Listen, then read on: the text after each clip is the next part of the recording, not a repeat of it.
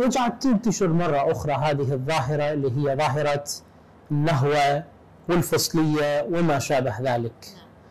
أنتم كنشطاء حقوق إنسان. آه، مطالبين أمام الجمهور أن توضحوا الأمر. شنو أنتم دا تسعون؟ كيف بإمكاننا أن نغير ونسوي حد لهذا الأمر من آه، إطار قانوني من إطار حقوقي من إطار شخصي حتى؟ نعم.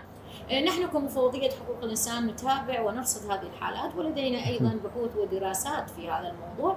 وحقيقة آه، وقفنا على العديد من الحالات وكان لنا أيضا قصص نجاح وتدخل في إحدى القضايا في محافظة ديالى بالتعاون مع الشرطة المجتمعية نعم. لإنهاء زواج لفتاتين قاصرتين من أبنائهم بطريقة النهوة العشائرية. ونجحتوا بالتدخل؟ نعم. نعم نعم نجحنا ونه- وانتهى الموضوع بإيقاف هذا الزواج و قبل أن يتم أم بعد إتمامه؟ لا أكيد قبل أن يتم. كان مم. عندي تواصل مع آه، السيد مدير الشرطة المجتمعية آه، وكان تعاون مع مكتبنا في محافظة ديالة. وذهبوا لعائلة وشيخ عشيره هاتين الفتاتين قصة تعطينا بارقة امل أكيد على فكرة. أكيد. هذه قصة نجاح تحسب للمفوضيه حقوق الإنسان وللشرطة المجتمعية أيضا.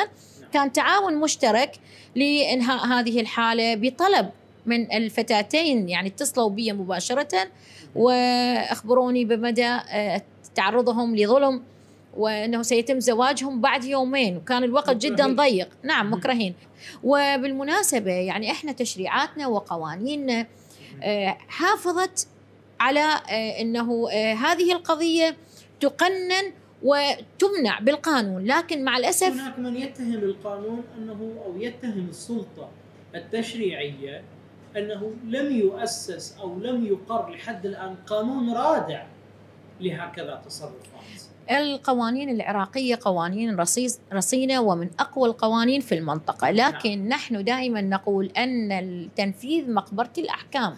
اليوم هذا المشكلة. نفذت إذا نفذت القوانين مثل ما مكتوبة في آه، كتب القوانين فإن ق- القوانين العراقية لم تهمل أي آه، ظاهرة أي موضوع. بالتالي اليوم موضوع الإكراه مذكور في قانون الأحوال الشخصية المادة التاسعه إنه إذا أكرهت فتاة على الزواج آه، فإن المكره يحاسب بالحبس آه، مدة ثلاث سنوات، بالتالي إن القانون مراعي هذا هذه الظاهرة وهذا الموضوع. أستاذة رقية نحتاج قانون رادع لردع آه، هذه التصرفات اللي آه، تندرج تحت الإطار العشائري، الزواج بالإكراه أو بمصطلحنا الدارج النهوه. برأيك هاي القرارات القانونية اللي تقر الآن يعني ثلاث سنين مثل ما ذكرت الدكتورة فاتن كحد أقل آه، هذه قرارات رادعة لو نحتاج إلى أمور أكبر من ذلك أو أكثر. آه، لا شك بأن عملية آه، الزواج بالنهوة أو بالإكراه هذه هي عملية انتهاك لحقوق المرأة فهي ينتهك حقها بحرية الاختيار ينتهك حقها بالزواج آه، تنتهك حقوقها بأنه تتعرض إلى عنف آه، أسري فيما بعد الزواج في حالة أنه الحياة الأسرية لا تكون مستقرة بسبب الإكراه. فهذه عملية انتهاك. أي عملية انتهاك تحتاج إلى قانون ردع. لأن هناك مخالفة قانونية أو تجاوز قانوني. إحنا مثل ما تم التنويه عنه إنه القانون موجود. هو قانون الأحوال الشخصية العراقي المادة 9 اللي هي رادعة لعملية الإكراه بالزواج وهي الحكم بالسجل لمدة ثلاث مدة لا تزيد عن ثلاث سنوات إذا كان قريب من الدرجة الأولى ومدة لا تقل عن ثلاث سنوات إذا كان من الأغيار. آه، لكن آه، طبعا قانون العقوبات أيضا بقوانين ردع في حالة إنه الإكراه آه، تم التبليغ عنه إذا كان إكراه آه، بالتهديد أو إكراه بالضرب أو يعني كذا. اقترن اقترن بالعنف. بالعنف. اي اي أي تصرف عنيف هناك مادة قانونية تحكمه بقانون العقوبات العراقي. لكن آه، بحكم طبيعة المجتمع وبحكم التقاليد العشائرية عملية الوصول إلى الإنصاف القانوني للمرأة هي الصعبه وبالتالي فكيف تصل هذه المرأة للاستفادة من قانون الأحوال الشخصية وقانون العقوبات العراقي؟ هناك آه، آه، مرحلة وسطية. يسعى المجتمع الدولي ويسعى الناشطون في المجتمع العراقي والمفوضية العليا لحقوق الإنسان آه، أن تكون هناك حلقة وسط ما بين الضحية وما بين القانون لتصل للإنصاف القانوني وما بين القضاء وهي أنشئت مؤسسات مثل مديرية حماية الأسرة مثلا الشرطة المجتمعية لإيصال هذه المرأة. وأيضا هذه لا زالت تحبو لأن من الصعب وصول المرأة بسبب ثقافتها وبسبب الانتهاك المجتمعي لها عدم وجود الجرأة. عدم وجود الجرأة وبسبب التضييق عليها يعني خنق حريتها من قبل الأسرة أو المش... أو العشيرة.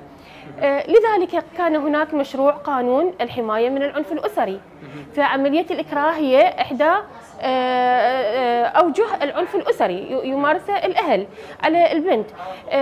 مشروع قانون العنف الأسري كان ممكن أن يكون رادع في حال لو شرع وكانت به نصوص متينة.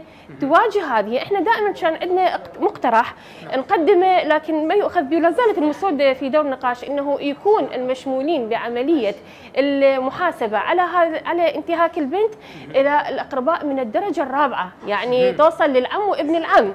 لكي نعم. نتخلص من هذا هي المشكلة تبدي بابن العم والعم. بالضبط. لكن العنف لكن هاي المسودة دائما يميلون إنه يخلوها اللي موجودين داخل الاسره أب وأخ وام وكذا إحنا لا إحنا طموحنا إنه نصل إلى أقرباء الدرجة الرابعة حتى نردع هاي مسألة العم والنهوة العشائريه وكذا هناك تكون محاسبة بموجب هذا القانون.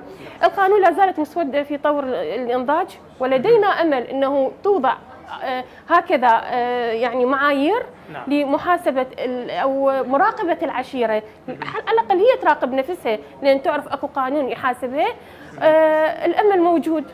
وإن شاء الله أكو خطى خطى بطيئة. لكن وصلنا إلى نهاية المطاف مثل ما يقولون. وإن شاء الله نتأمل خير.